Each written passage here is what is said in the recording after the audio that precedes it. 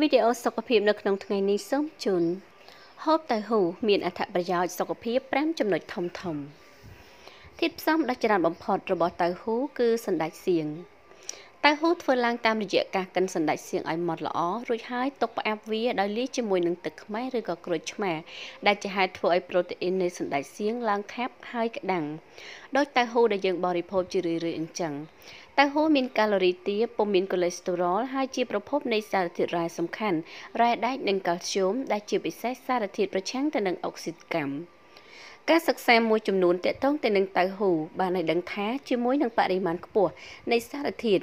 isoflavonoids វានឹងជួយកាត់បន្ថយហានិភ័យនៃជំងឺទាក់ទងជាមួយនឹងអាយុនិងជំងឺបង្កឡើងពីទម្លាប់នៃការរស់នៅមិនល្អ។ខាងក្រោមនេះគឺជាអត្ថប្រយោជន៍សុខភាពមួយចំនួនធំដែលទទួលបានពីការហូបតៅហ៊ូ1ប្រឆាំងទៅនឹងជំងឺប្រព័ន្ធរបត់ឈាម សារធាតុ isoflavin ទទួលបានពីសណ្តែកសៀងត្រូវបានគេសិក្សាឃើញថា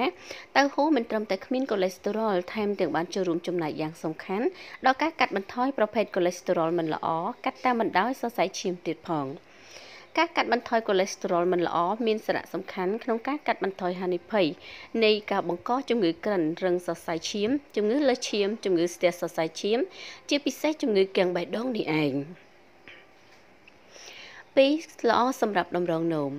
សារធាតុប្រូតេអ៊ីនពិសេសពិសេសនៃសណ្តែកសៀងមានសារៈសំខាន់ចំពោះដំណើរការនៃតម្រងនោមដែលកត្តានេះអាចបណ្ដាលមកពីឥទ្ធិពលកាត់បន្ថយកម្រិតជាតិខ្លាញ់នៅក្នុងឈាមផងដែរការសិក្សាមួយចំនួនបានឲ្យដឹងថាសណ្តែកសៀងដែលមានសារធាតុផ្សំចម្បងនៃតៅហ៊ូមានឥទ្ធិពលវិជ្ជមានគួរឲ្យកត់សម្គាល់ដល់ការកាត់បន្ថយហានិភ័យនៃជំងឺតម្រងនោមរ៉ាំរ៉ៃ3ប្រឆាំងទៅនឹងជំងឺពុកឆ្អឹង សារធាតុ isoflavonoids ដែលទទួលបានពីតៅហ៊ូបានដើរតួនាទីយ៉ាងសំខាន់ដល់ការកាត់បន្ថយហានិភ័យនៃបញ្ហាពុកឆ្អឹងនិងបង្កើនដងស៊ីតេឆ្អឹងទៀតផងពិសេសចំពោះស្ត្រីអស់រដូវដែលងាយប្រឈមមុខទៅនឹងបញ្ហាសុខភាពឆ្អឹងដោយសារការប្រែប្រួលនៃអរម៉ូន សារធាតុរ៉ែសំខាន់សំខាន់មួយចំនួនក៏ទទួលបានពីការហូបតៅហ៊ូផងដែរដូចជាកាល់ស្យូមនិងជាតិដែកកាល់ស្យូមជាសារធាតុមួយដ៏សំខាន់សម្រាប់ការលូតលាស់និងភាពរឹងមាំនៃឆ្អឹងដែលរាងកាយយើងមិនអាចខ្វះបានឡើយរីឯជាតិដែកដើរតួនាទីចម្បងសម្រាប់មុខងារនៃការបំលាស់ប្ដូរឧស្ម័នរៀងរាល់វិនាទីនៃការដកដង្ហើមចេញចូលរបស់យើង4ប្រឆាំងទៅនឹងជំងឺថ្លើម ការសិក្សាមួយបានរកឃើញថាការហូបតៅហ៊ូបានកាត់បន្ថយហានិភ័យនៃជំងឺថ្លើមមួយចំនួននិងការពីកោសិកាថ្លើមពីការខូចខាតតាមរយៈការកំទេចចោលពពួករ៉ាឌីកាសេរីដែលមាននៅក្នុងរាងកាយយើង ទី5ល្អសម្រាប់សុខភាពខួរក្បាល ការសិក្សាស្រាវជ្រាវនៅឆ្នាំ2017បានឲ្យដឹងថាផលិតផលសណ្តែកសៀងដូចជាតៅហ៊ូជាដើមបានជួយទៅដល់អ្នកជំងឺវង្វេងវង្វាន់ដោយសារប្រភពនៃសារធាតុ lactosin ដែលជាសារធាតុមួយប្រភេទនេះជួយដល់រាងកាយយើង ផលិតបាននូវសារធាតុ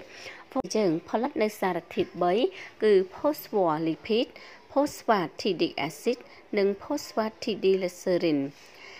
សារធាតុទាំង3ប្រភេទនេះបានដើរតួនាទីយ៉ាងសំខាន់សម្រាប់ជំរុញដល់មុខងាររបស់នឺរ៉ូននៃប្រព័ន្ធប្រសាទ។